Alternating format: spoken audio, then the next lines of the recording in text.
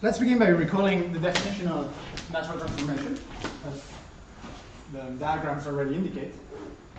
So remember that we're going to consider um, the family of functors between two given categories. So this is symbolically a set functors between our two categories.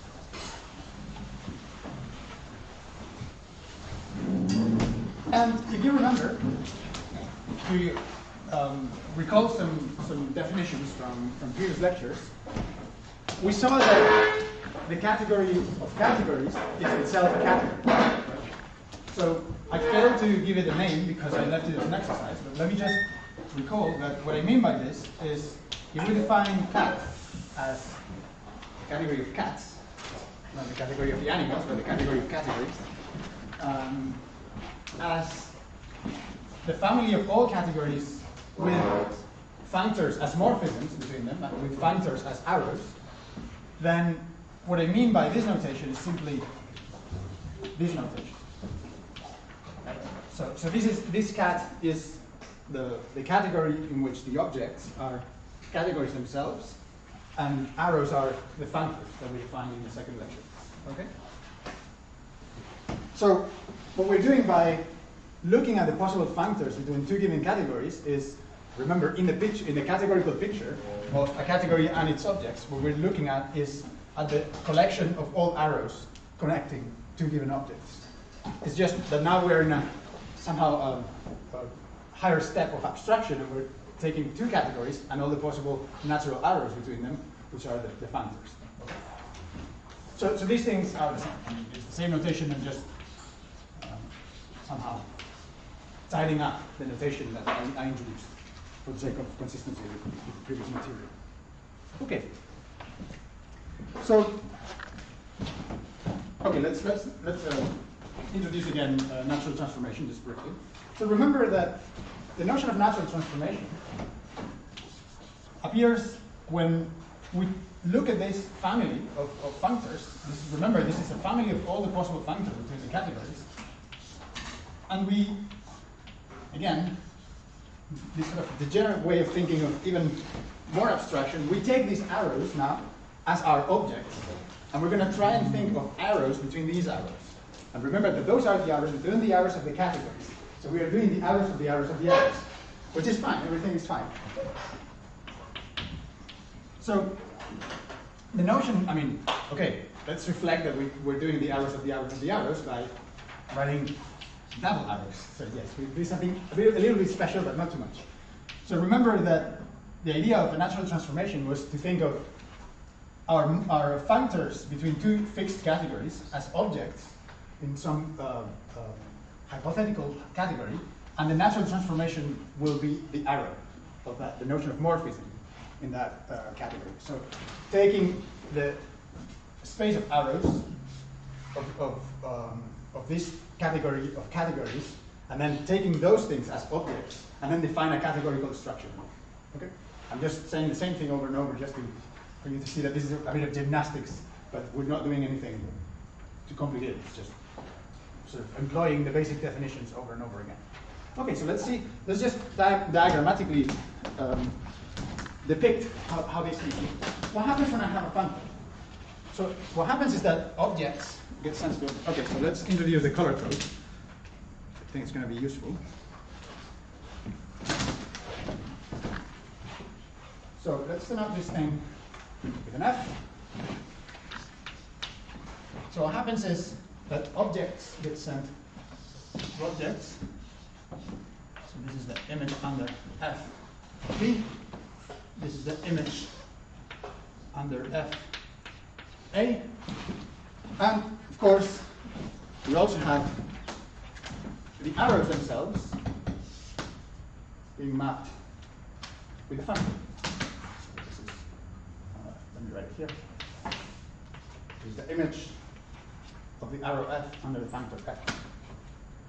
So, similarly, because I'm, I'm considering two functors of two fixed, uh, between two fixed categories, I'll have the similar story for these guys. This is G. And G, of course, maps the same way. Maps the objects to the objects and the arrows to the arrows. Okay. So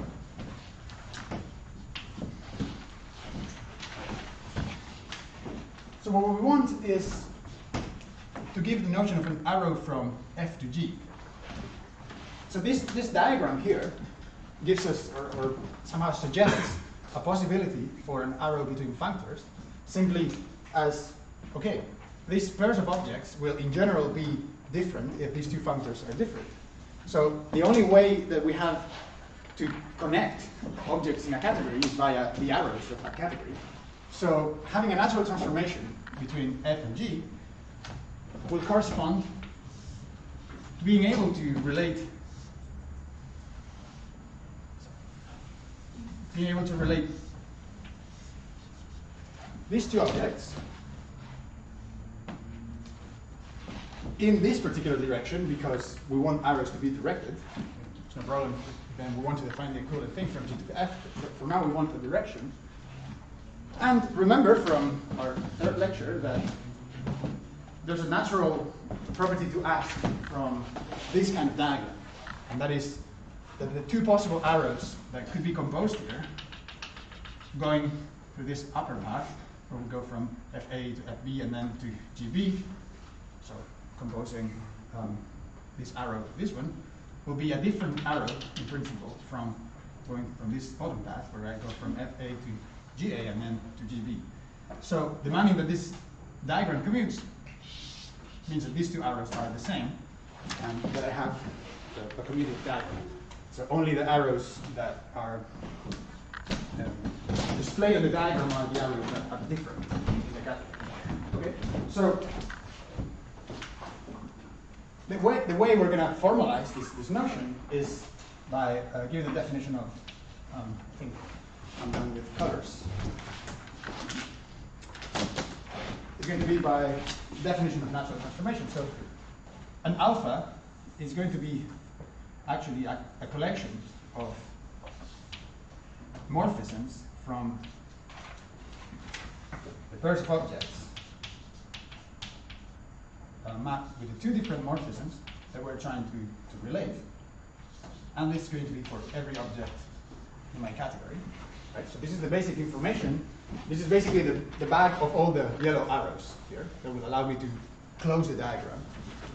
And the condition that, that all these diagrams are uh, commutative is written more explicitly here as, um, well, actually, you can see it very explicitly here. So in here I have the alpha for the object A, and in here I have the alpha for the object B. So it's, it's in this diagram that I can impose the condition that uh, the natural transformation family of maps commutes, makes the diagram, makes the diagram smooth. Very well. Okay, so this is a reminder of the notion of natural transformation. Any questions about the notation or the basic definition? Okay.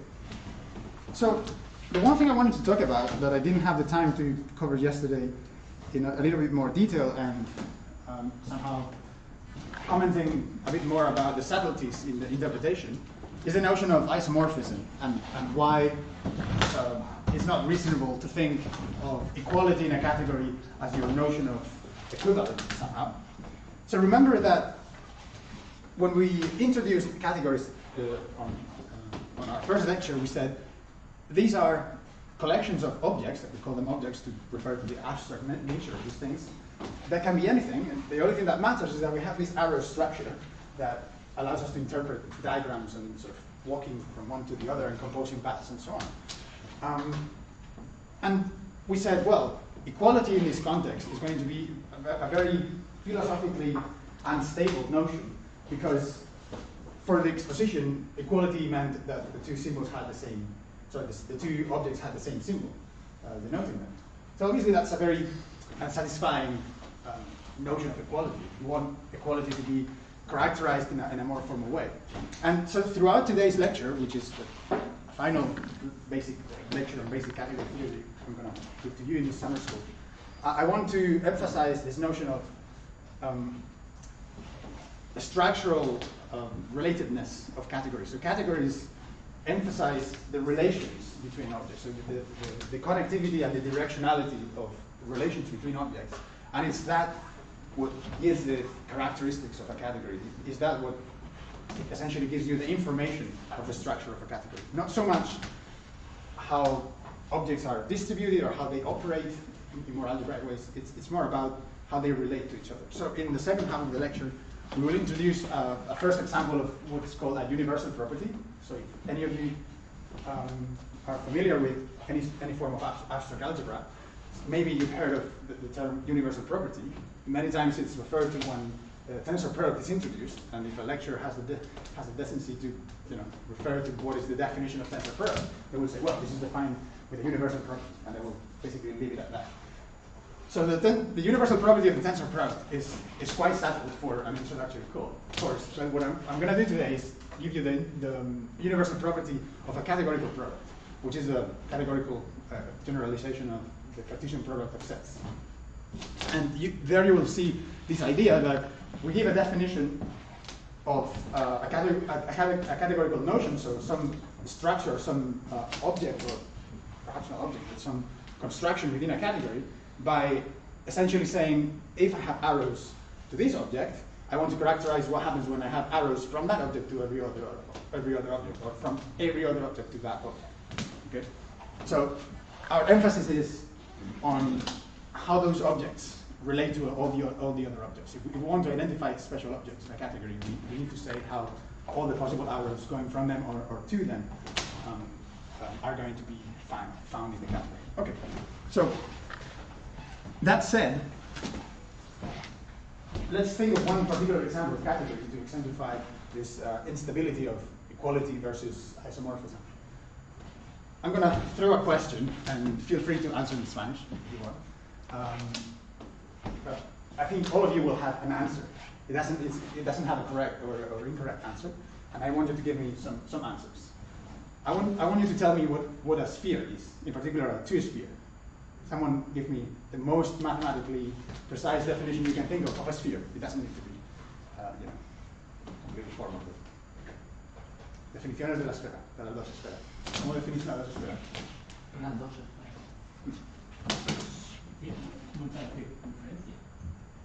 No. ¿En dimensión 2 has dicho? Sí, dos esferas, en tres dimensiones. La, la cáscara de una bola. Ah, pues el conjunto de puntos que están a la misma distancia. Ok. ¿En qué espacio? En R3. En R3. R3, vale. R lo identificamos con un espacio que conocemos bien. R3 tenemos un, una, una, distancia, ¿no? ¿Alguna definición más?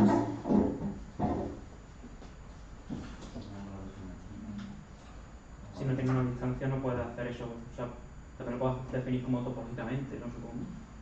En plan, superficie compacta de género cero algo así. Muy bien. So yeah, that, that's that's the direction I was I was aiming for. So there's there's what is the, the two sphere? Is it you know in a fixed space with a fixed metric? Is it radius one, radius two? What is the radius of the sphere? Is it you know if I deform the sphere a little bit, is it still topologically a sphere? So if I'm talking about topology, can can you distinguish between a sphere and you know a complicated shape that is still the same topological genus? You can't. So the idea that we mathematicians and physicists and scientists give names to things and give one single symbol to a notion, it's somehow kind of misleading because you know we're we're very quick to say, oh, we have this symbol, that's simple. It's very simple, everyone understands the same. But you know, if, if I write the symbol for a sphere, the conventional symbol for a sphere, S2, on the blackboard, depending what kind of mathematician or, or, or scientist is looking at this, they will understand completely different things. And they will all be correct in their, in their own sense. It's not that they are worse or better in understanding spheres. They will just have completely different notions of mathematically rigorous definitions of sphere. And you know, the, the, the topology case is, I think, the most illustrative, that we have all these different definitions of what sphere is. So for example, sphere is the one-point compactification of any Euclidean space, or in this case, three-dimensional Euclidean space, or in fact, any space homeomorphic to, a, Euclidean space. It's also the, the, the locus of any monoton monotonically increasing function in some, in some metric space, like the radius and these kind of things. So there's all these different ways to define a sphere, and it really depends on what you mean, but how things are similar in that category, hence the name category theory, um, that gives the notion of a sphere as something, something precise, as, some, as something rooted. Um, so it, it is in the sense that, for example, if you're doing differential geometry and you're particularly thinking of metrics and, and Riemannian metrics on spheres, you, then you definitely don't have one single canonical definition of sphere. Because how do you choose what, your model sphere unless you ar artificially say, this is my model sphere, and you, you know, point, to, point to it, there's no notion of what is the one natural uh, sphere. You would say, well, I have a class of manifolds that are diffeomorphic or you know, have uh, topological continuous maps between them, and they have different metrics. They have, uh, as Riemannian manifolds, they are different. You know, if you want to walk on them, the experience will be different. But in, in a topological sense, or not, you know, differentiable topological sense, they will be the same space because they will all be diffeomorphic. So they will be isomorphic within the category of topological spaces, but it would, they will be not isomorphic in the category of Riemannian manifolds, for example. Right?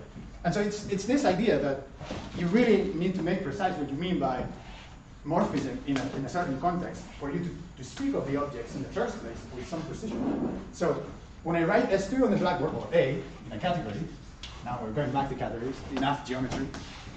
Um, so when I, when I write down a symbol for a, for a particular mathematical notion, you know, not entirely clear what I mean just by that symbol, and, and by that symbol, unless I, I, give you some structure of how to think of when things are similar enough that you can say, okay, they, they are interchangeable for this particular notion of relatedness or sameness, right?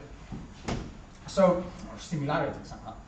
So this is, this is the notion of isomorphism, and we already covered isomorphisms at a more formal level, just you know, formal definition as the existence of a pair of arrows in the category such that, because in a category we always have the identities, remember, we never write them because they're always there.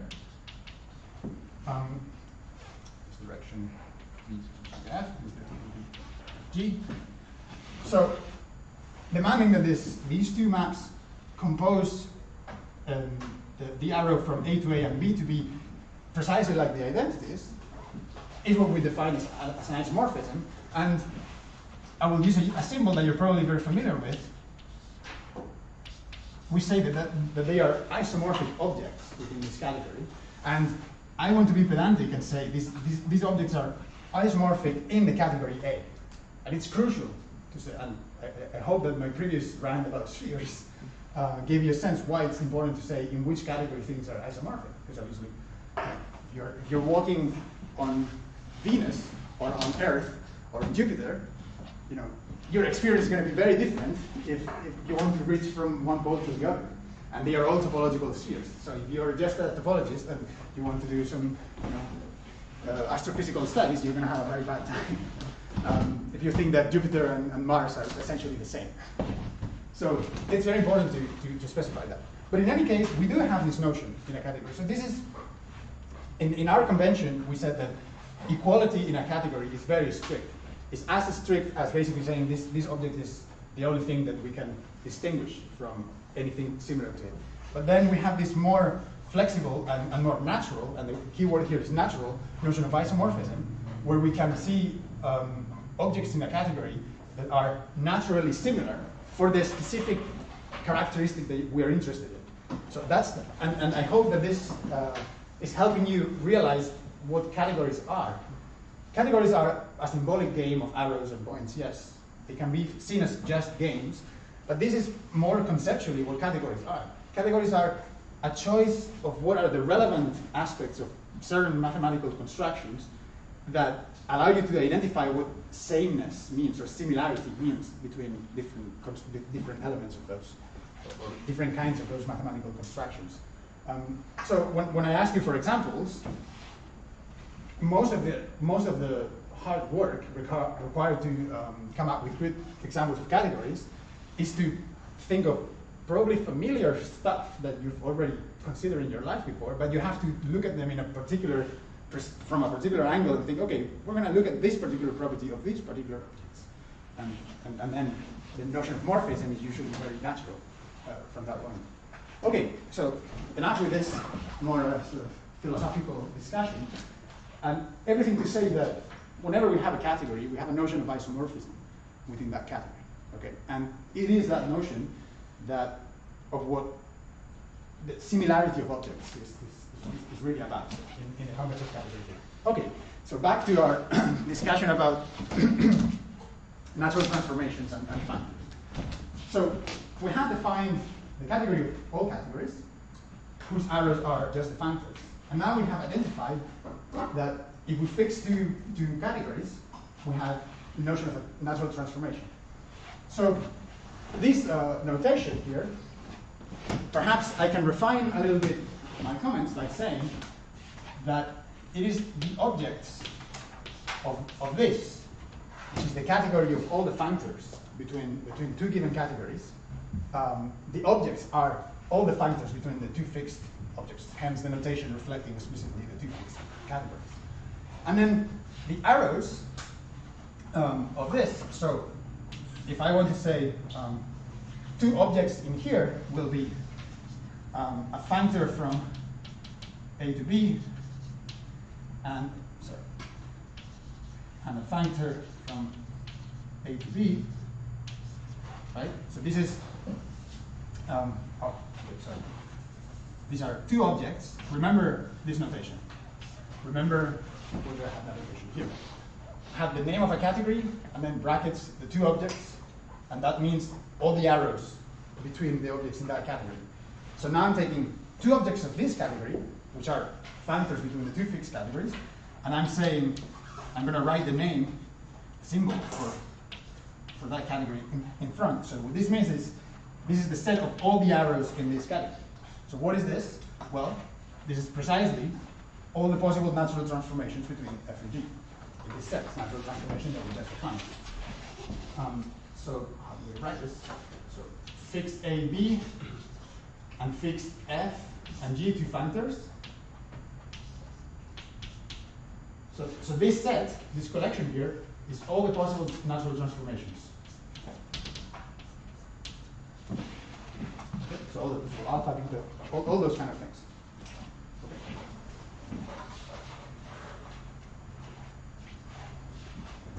Of, course, by the way, um,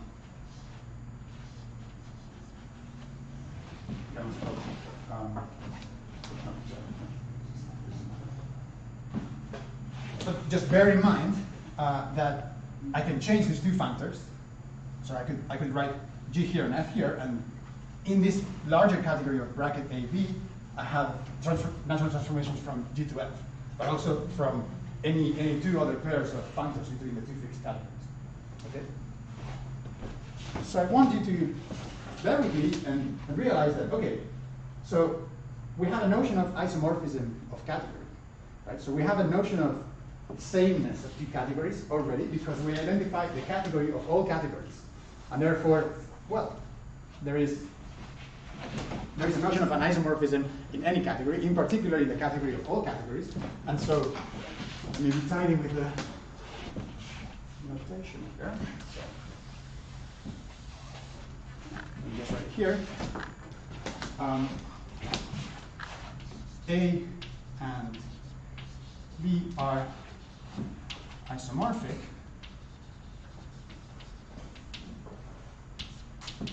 if I'm write isomorphic as categories when, and of course, I'm just going to rewrite what I just erased, which is the definition of isomorphism. F and F dash between A and B with the property of isomorphism, which means um, that F dash compose with F is to compose to identity in the category. So this is the identity functor. And this is the identity functor. And add the.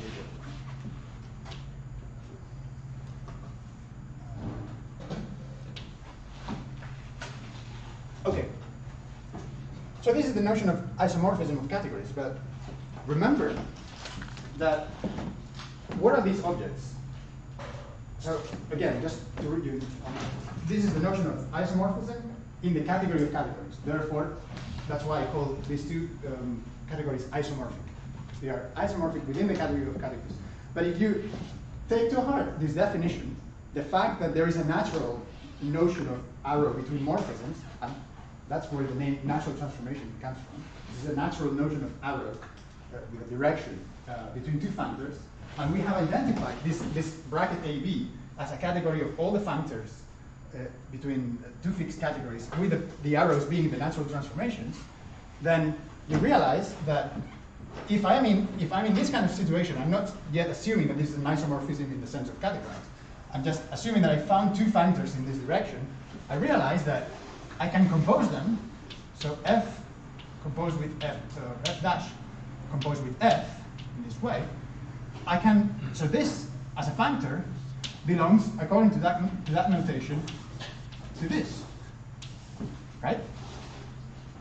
It's a functor from A to A. I'm just going from A to B, then back to A as a category. And similarly with the other composition.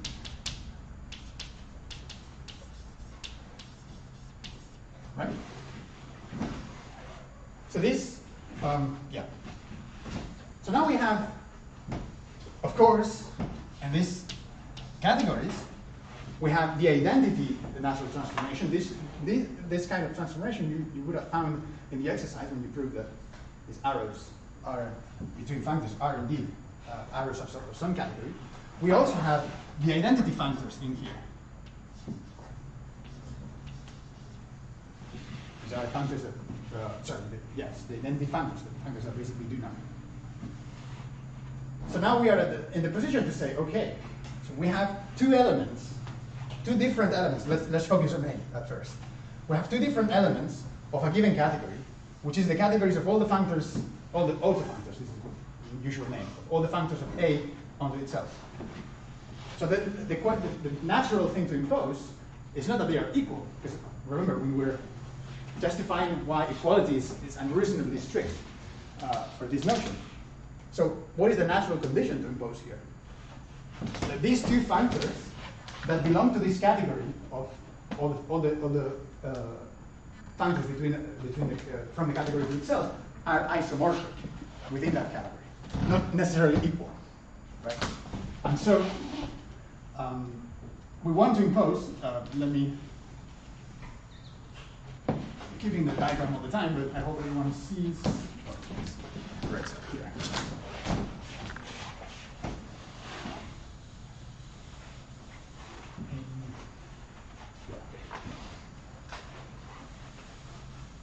Let's say um, A and B are equivalent.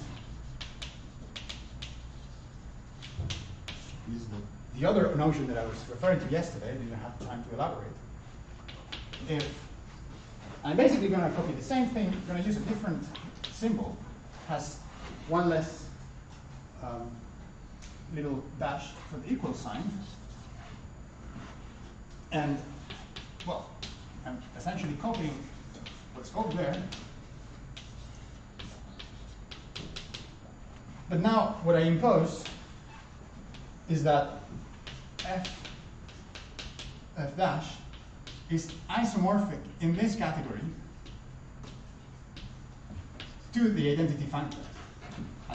F dash f, I'm copying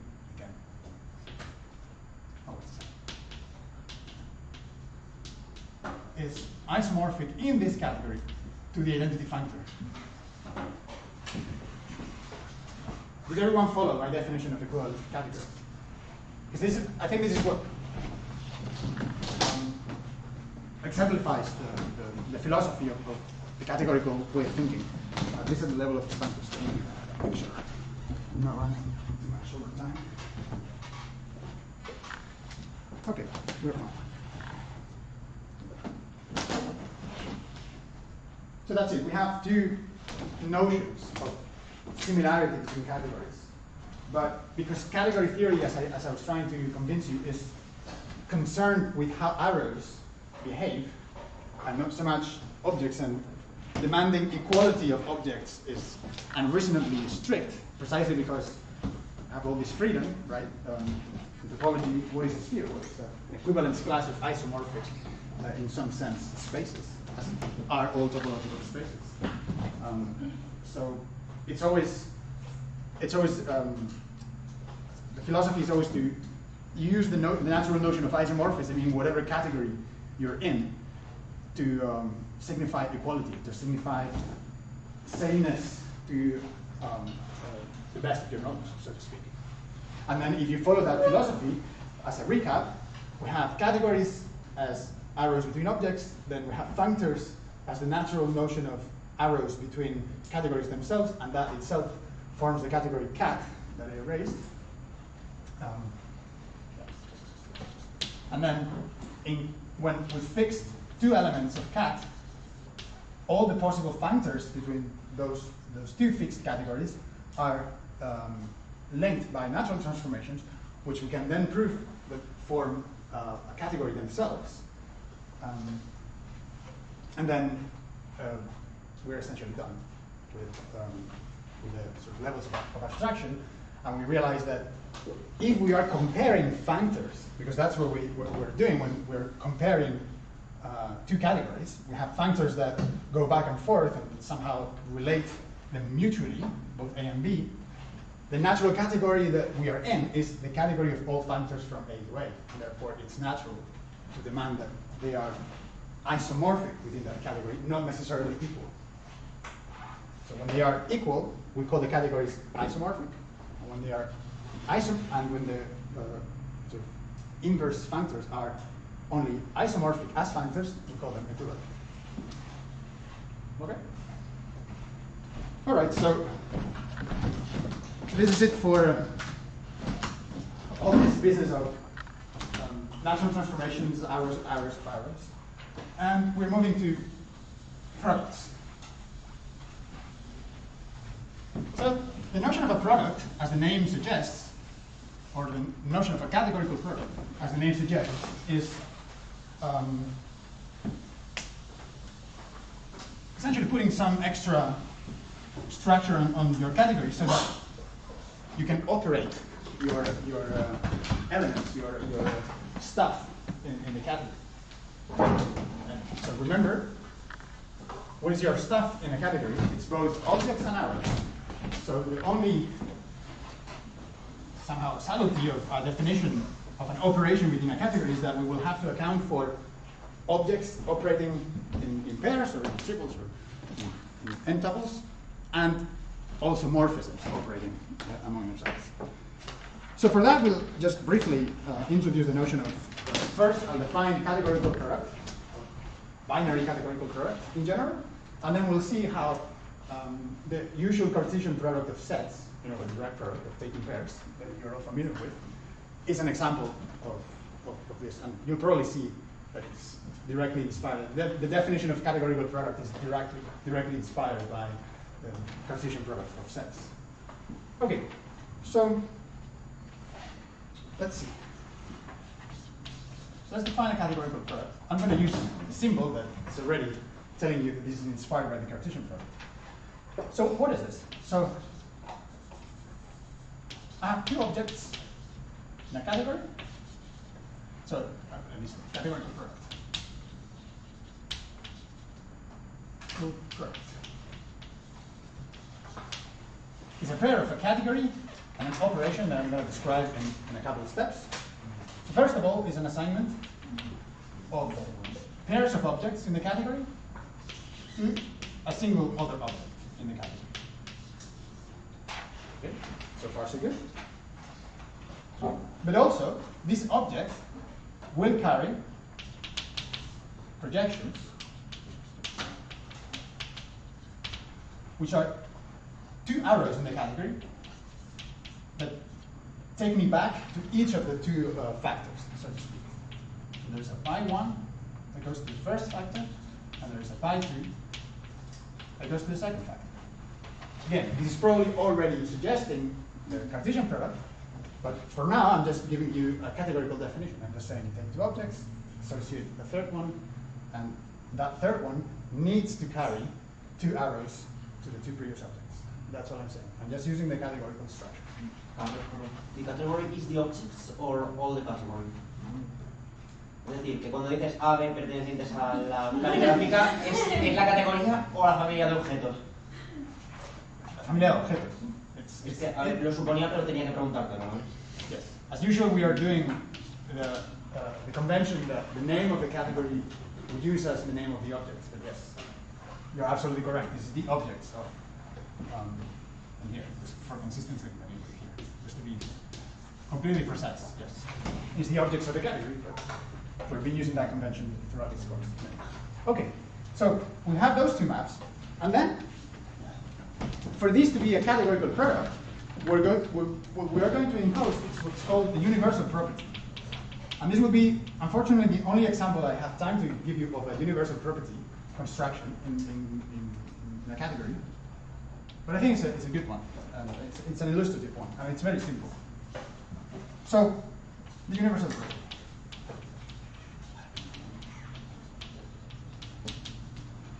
As the name suggests, universal property, it's saying something that our product needs to satisfy with respect to everything else in the category. It needs to be universal with respect to everything else in the category.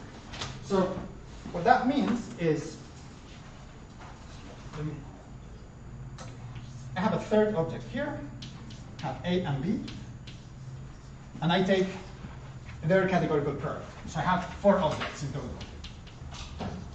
according to, to this uh, first uh, this first um, um, element of, of our construction, we have an assignment of objects for any pair of objects in the category. So we have these three objects, and now let's consider a, a a third unrelated object in our category. This could be any other object in the category. So of course, sorry, for, from the second line of our definition, we know that we have the projections, right? And then what we say is, okay, for all arrows, okay, if there are no arrows, let's be a bit more intuitive. If there are no arrows between C and, and A, which is possible, because we are not in a category, then there's nothing else to say. There's not, there's, there's no possibility to demand anything. There's no interaction between C uh, and A and B, they don't talk to each other at all. But if there are arrows, and so for all the arrows that might ex- may exist between uh, C and A, um.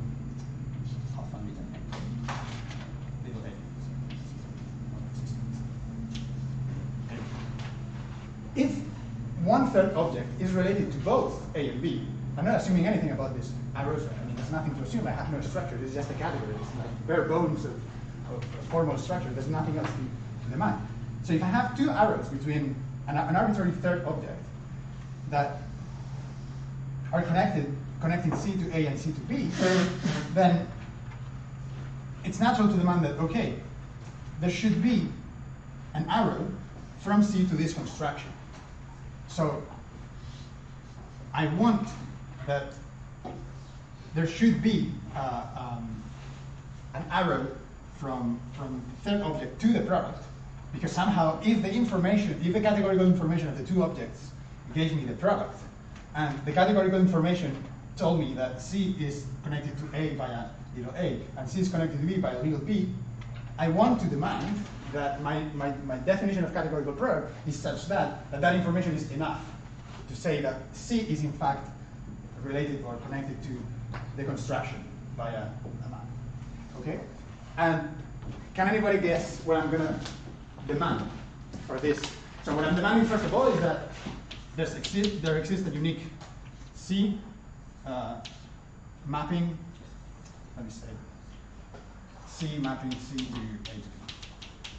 There exists only one, but that's that's that's very um, oblivious. I mean, okay, this is this is um, somehow motivated by by this fact, but I also have these two arrows.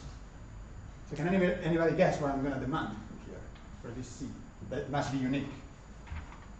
Que la composición de pi 1 con c será igual a Efectivamente. That means that this is commutative. This diagram is commutative. That going from C to B via little b is the same as going from C to B through A times B. And similarly for this other half of the diagram. And I could have defined a product of n different objects just by giving n different projections. So we demand that this exists and, and it's unique, and uh, this diagram commutes. Remember, we use this symbol, hashtag thing here. Uh, so this commutes.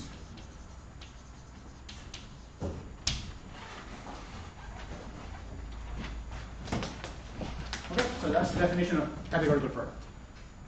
Quite easy. So this, this could be left as an exercise. But I'm gonna do it here, essentially. Um, and the exercise is to, to, sh- to show that when the category is set, so what is set? Set is the family of all sets, and the arrows are just the maps between the sets, or also the mappings uh, for the pointless elements. Okay? So your, your exercise is to show that set with x Cartesian product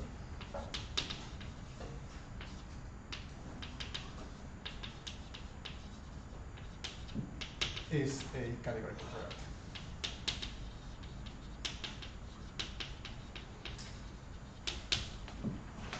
So that's the exercise. I think to go. Um, so that's the exercise, and that's the end of my uh, category theory course. Let me just give you a sketch of why this works. I mean, what I wrote here is essentially the definition of the Cartesian product in some sense. Um, the, the only thing that is not explicit is how C is determined by, by A and B. In a, in a general category, what I had to use, because I didn't have, actually, let me use this last five minutes to this a bit more concrete. So imagine that now that diagram, everything else is the same. I'm in sets, I, I take two sets, I, create a new one with a product, and then two maps that way. So what are, what are the, the maps? Uh, remember that, C, uh, sorry, that A times B, for sets, is just the set of all the pairs. Um, this is that. Um, X and Y. In, is the set of all the pairs such that X is in A and Y is in B. Right? So I have a natural projection, hence the names, to each of the factors because I can project to the first factor, factor from here A, simply because if you give me a pair of numbers, I can give you, you know, I know how to count, so I know what's the first and I know uh, what's the second.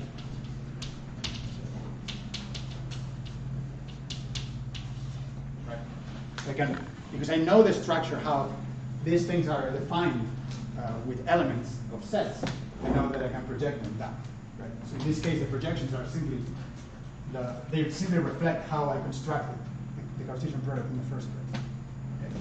And actually, the, uh, everyone is familiar with this, but perhaps what, what people are, might be less familiar with is the universal property of the Cartesian product. Because nobody, I mean, except here, very few people care about universal property of the Cartesian product, is usually not that interesting uh, to think about.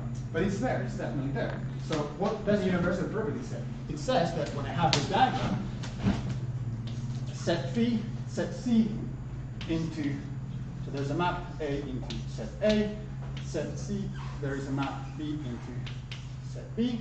I take the Cartesian product, these two sets, which carry the canonical projections. What is the universal property? So the universal property says that there should exist a unique map from uh, C to the Cartesian product such that those diagrams commute. So one way to show that this is the case is to construct the map explicitly. I have explicit, explicitly means as a map of sets. Um, I have explicit, explicit expressions for, or explicit constructions for the projections, so why not give explicit construction for, for this map C? Does anyone know how to, unless you've seen this before, otherwise refrain yourself from answering. Does anyone know, has an idea how to define C?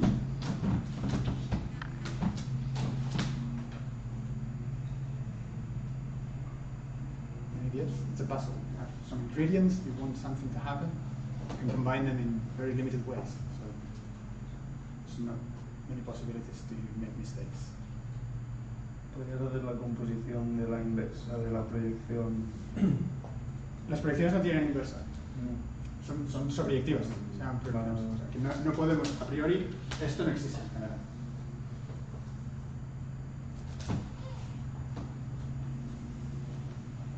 Notice that the information you must use is A and B.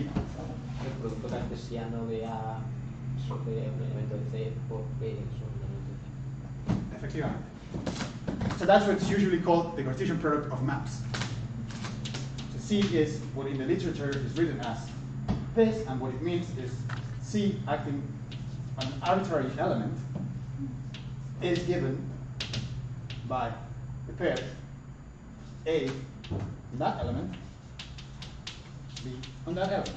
It's a very silly definition. I did not, essentially.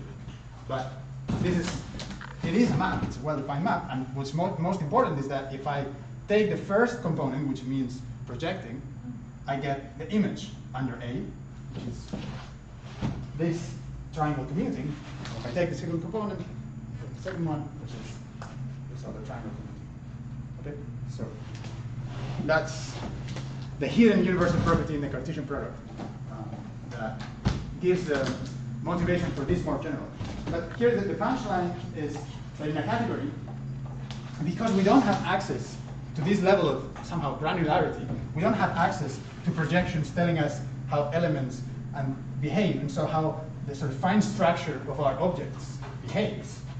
We need to resort to this other philosophy. We need to resort to the level of how does the object as a whole relate to other objects in my category, and when that information is known, I need to, to impose that that information is enough to determine uh, the, the relation between that new object that I, I define to any other potential object that might be related to the, to the other two that are constructing the object.